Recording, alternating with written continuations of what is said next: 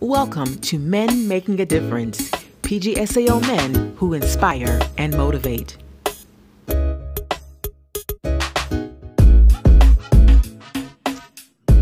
Hello, John Naylor. Thank you so much for joining me today. Good afternoon. Nice to uh, be with you this afternoon, Ms. Boy. Thank you very much. You know, oftentimes the community gets to hear from me as the elected state's attorney, but you're doing some incredible work here in the office, and you have recently been promoted to the assistant chief of our major crimes unit. So I would like you to talk to everyone about uh, the role of major crimes uh, in our office, your unit in our office, and also, you know, what type of cases you all handle and uh, and the impact of the work that you do. All right. So the major crimes unit is a team of uh, of 12 people, a chief and assistant chief, which is the role that I occupy. Um, and then we have three community prosecutors and seven line attorneys. Um, our office is kind of the primary felony prosecution unit in the office.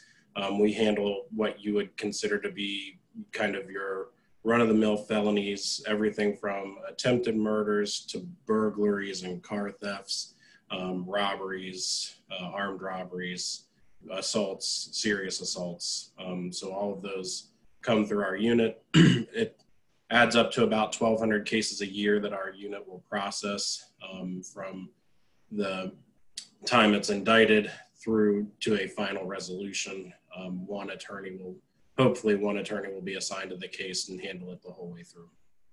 Yeah, absolutely. So, so why don't you talk about that? Because you know the cases can uh, really run the gamut, it, it, up to and including attempted murder, um, which is very, very serious. And the, the difference between a case coming to your unit and a case uh, going to homicide is is really not whether the victim survives. So, can you talk about kind of the the, the serious nature of those cases and how you work with victims uh, of these crimes? Yeah, and so that's the the big thing with major crimes is all of our uh, offenses are victim based felonies. So they're going to be felonies that are have a victim um, who we have to work with, um, and sometimes uh, encourage uh, to work with us uh, through the process. So we will, you know, attempted murders, assaults, burglaries, all of those things have a, a person who was affected, and you know they generally start with a 911 call going into the police uh, from a person who's currently uh, involved in a crisis situation. They've been shot at, or their home is being broken into, or their car, they woke up in the morning and their car is missing. So, and then the police respond, they begin the investigation, and then they present those findings to our office. From that point, we handle the prosecution side of the case. So we will take the court side of the, the case um, and we have an obligation to represent the state in the courtroom, um, but that also means that we have an obligation to uh, represent the interests of the victims. So we have to work closely with our victims. We got to, you know, our attorneys are trained to have victim uh, meetings where they either through the telephone or in person in the office will have meetings with the victims in order to discuss what the process of a criminal prosecution looks like, as well as the the um, as so the process of criminal prosecution, as well as what we think the case has in terms of its merits and, and challenges as we proceed through the process. So. Yeah, and let's talk about sometimes some of those challenges. Sometimes the, the challenges may be uh, the evidence that we have and how the evidence was collected. So, can you talk about uh, also our role in protecting the constitutional rights of defendants in the system as well? So, uh, yeah, um, we we as we have an obligation to present the best case that we can present, but sometimes the best case that we can present isn't that good, and it's not through anyone's fault or, or you know due to any deficiencies. You know, unfortunately, at this point, um, with how rapidly technology has improved and how many how much resources it takes to do a full and complete investigation that's just not reasonable to occur in every single case and so you know as as a county we, you know there's a like I said, our my unit will handle about 1,200 cases a year. Um, we have, I think, six DNA analysts. I think we have three fingerprint analysts in the county, and so when we present these cases for trial, oftentimes people want to know what the DNA evidence is and what the fingerprint evidence is. Um, and we may not be able to present that to them because it just doesn't exist. It wasn't preserved or it wasn't collected or it's not collectible. Um, and so those will have an impact on how we present the case and, and move forward. Now, you know, we, we still if a case is strong without that, and oftentimes there's a good case still. I mean, there's eyewitnesses and there's now we have cell phone evidence and, and all these types of things. So we, oftentimes we still have a good case that we can put forward, um, but it sometimes can be very challenging. And so, you know, if, if we review a case and it doesn't look like we're going to be able to make the elements in court then we have to have a very difficult conversation with our victims um, where we have to tell them that we don't think we can proceed with those cases. Um, and, and, those cases will often end up being dropped. Um, or sometimes it'll be that, you know, we have a good case for, you know, some low level offense like a theft. So we know that the person had the stolen property in their mm-hmm. possession, but we can't prove that they were the one who broke into the home. So instead of doing a burglary uh, case, we're offering a theft charge. Um, so that that's kind of how it goes. Yeah, absolutely. And I kind of want you to also talk about a little bit about sort of the the as we go through and we evaluate cases, we also are looking at, you know, Fourth Amendment rights, Fifth Amendment rights, the rights of defendants, and and and really we, we protect the justice system as a whole you know, certainly we advocate and we want to get justice for our victims, but we cannot do that um, at the expense of you know constitutional rights and other rights that folks have. So can you talk about like what our role is in evaluating that and then how we uh, address those issues when they do come up?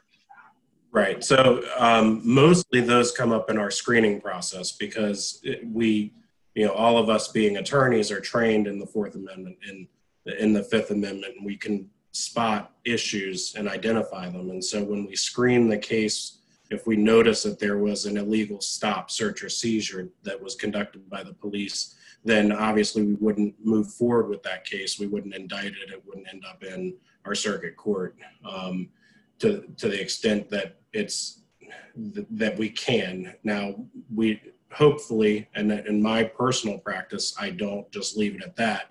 I try to educate the person who made the stop, search, or seizure at issue or obtain the confession at issue, um, which is causing a problem legally, so that they understand why they aren't allowed to do that.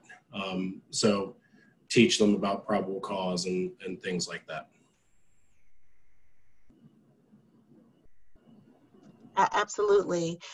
And so, so John, you, you've tried a lot of cases. uh, you've been an attorney for a little while. Can mm-hmm. you tell us about one of your um, uh, most challenging cases? So the the most challenging cases that I've handled personally are are probably DUI homicide cases. Um, I specifically remember the first DUI homicide that I was assigned to um, was a, a, pretty sad case. It wasn't in Prince George's County, but um, it involved a, a a per, a, the victim in the crime was a retired state trooper. He had spent, you know, 26 years of his life uh, really trying to prevent people from driving under, in an impaired or intoxicated condition. You know, he worked on DUI task force and things like that. Um, after he retired, he he uh, bought a blacksmith shop over on the Eastern Shore, and he was doing a second career as a blacksmith and he was asleep in his shop one night when two guys who were just out having a good time drinking driving around you know speeding um, crashed into the blacksmith shop and killed him in his sleep. Um, you know when we had the first we call it a next of kin meeting when we had the first meeting with the family we got to meet his father, who was an elderly person, and his brother um, and his niece, and and they really impressed upon us. You know, we had to tell them what the potential impact of the criminal sanctions for killing somebody while drunk driving, even in the conditions that this case was in, um, are and what we expect the case to be, and just you know knowing that we're never going to be able to satisfy them uh, through the criminal system. I mean, it, it, the sanctions just aren't strong enough to replace the loss of a loved one, especially around things like drunk driving. So those were those cases are always you know the toughest cases I think we face, um, and so you know we they're very hard to prosecute and and they have a lot of technical aspects to them. Um, but know, we were able to get a successful conviction in that case against both the driver and the passenger of the vehicle. So it was a, it, it ended up being a, a, good case for the state, even though the defendant probably didn't face the penalties that he should have faced. Right. Yeah, those are, the, you know, the, the motor vehicle manslaughter cases, those are the worst. It, it, on both sides, oftentimes, you, you obviously have a very innocent victim but then on the other side, you have a defendant who may have no other contacts with the law.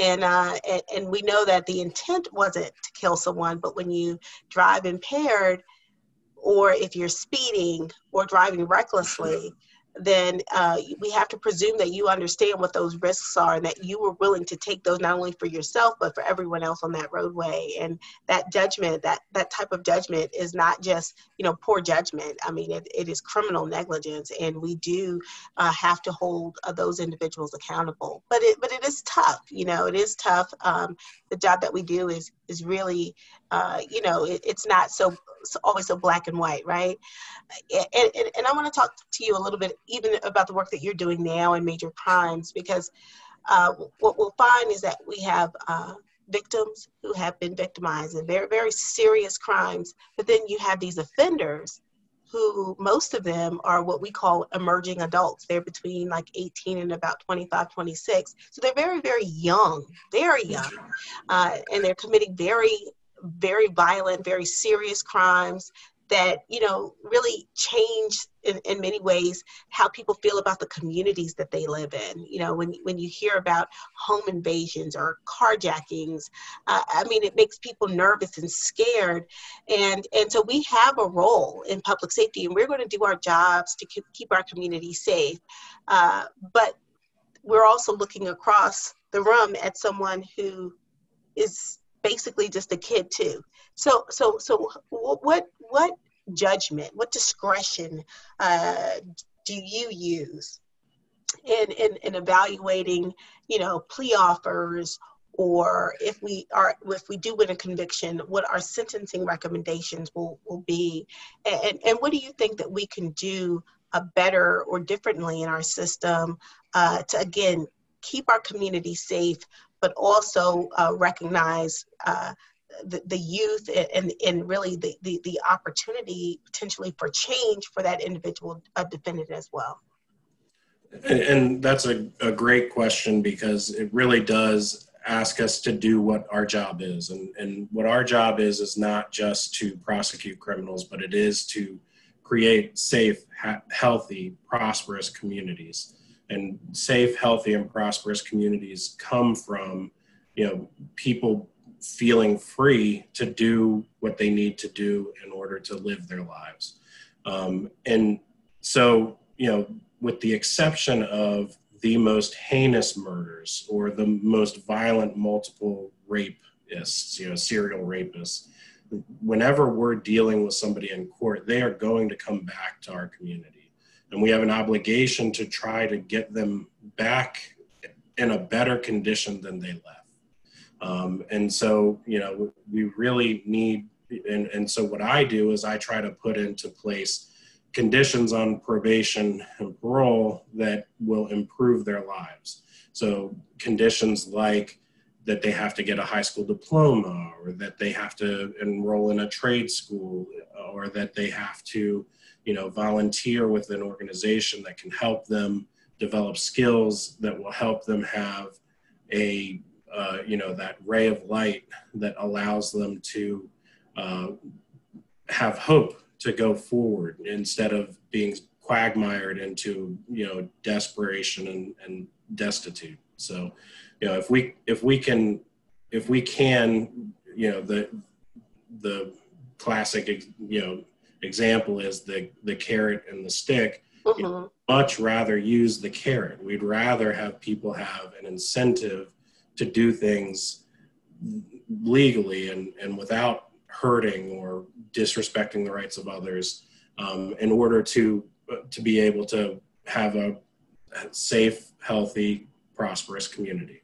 So absolutely, so and, I and I appreciate that. Yeah, you, you do do do that balance because it's really important um, work that that you do and that you impart to those uh, attorneys who you lead here in the office as well. So it, it's great that you have that perspective. Um, you know, so are there any last thoughts you want to put out there, especially to those who might uh, be aspiring attorneys, or hopefully some of them are interested in prosecution? Is, are there things that they should be thinking about, considering? What would you say to someone who might, might be considering law? So, you know, I, when I was, you know, some people who are in this job, they say when they were in kindergarten, they knew they wanted to be a lawyer, you know, that it was their natural destiny and there was nothing else that they could do. I can say today that I don't think that there's another job that I would be right for more than being an attorney. Um, but I was not that person. I did not think that I was going to be a lawyer someday. Um, I decided to become a lawyer for the reasons that I think a lot of people decide to become lawyers, which is the money, you know, the, the money, the admiration, the respect. You know, I remember as a kid that if somebody was introduced to me as a lawyer, there was automatically this belief that that person is uh, smart, articulate, they have, you know, the ability to do things, um, and that they have wealth and prosperity. Um, and, and, so those were things that made them uh, admirable to me. So that's why I endeavored to become a lawyer. Now, if you, the thing that they don't tell you is that the reason that lawyers are uh, wealthy is because what lawyers do is they work on the worst things that ever happened to people. Um, lawyers prepare people for divorce. They prepare people to face criminal charges in court after they've been uh, charged with something. Uh, we represent victims who have been victimized by other folks. Um, we help people prepare for their death and the, the how they establish their estate uh, after they pass away. So that's what we do. That's difficult. And what I've found is that the one job in the whole lawyer realm where what you do is you try to do what's right. You're not constrained by your client's wishes to do what the client wishes to do, not necessarily what's right, is being an assistant state's attorney. We work for the public good. We get to do what's right, whether it's popular or not popular. We do what's right in cases.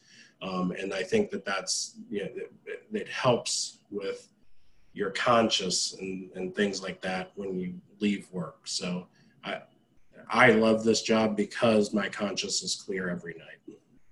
That's awesome. And I, and I appreciate that. And, and, and I agree that it, it is very rewarding work.